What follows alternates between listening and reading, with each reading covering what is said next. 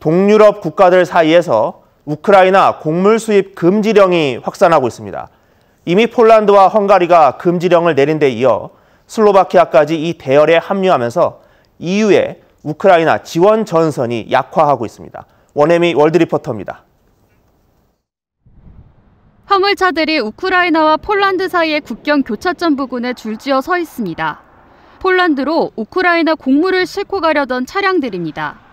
폴란드가 우크라이나 곡물 수입을 금지하면서 발이 묶였습니다. Четверо суток в общей сложности, это начиналось километров 15 отсюда. А вот непосредственно на этом месте двое суток. Ровно двое суток. 현재 EU는 우크라이나를 돕기 위해 회원국들에게 우크라이나산 곡물을 면세 조치하도록 하고 있습니다. 서부나 중부 유럽으로서는 우크라이나 곡물을 싸게 살 수 있습니다.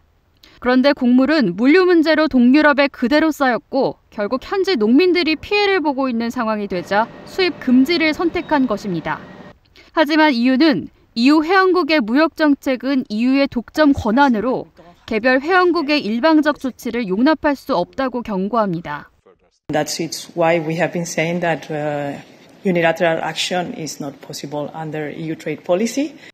전쟁에 뭉쳤던 EU의 불화가 시작된 듯 이번엔 슬로바키아가 우크라이나 곡물 수입 중단 대열에 새롭게 합류했고 불가리아도 수입 중단을 검토하고 있습니다. 농산물을 둘러싼 우크라이나와 동유럽 국가 간 갈등은 쉽게 잦아들기 어려울 것으로 보입니다. 폴란드와 슬로바키아 등 동유럽 국가들이 선거를 앞두고 농민들의 눈치를 보고 있기 때문입니다. 우크라이나 지원에 적극 동참했던 유럽에서 동유럽을 중심으로 균열이 점차 현실화되고 있습니다. 월드뉴스 원엠입니다.